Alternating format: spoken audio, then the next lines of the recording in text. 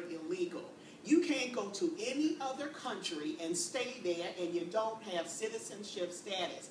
That's one reason why we're over budget. We have a lot of problems, and these people do not bring any economic uh, incentive or whatever.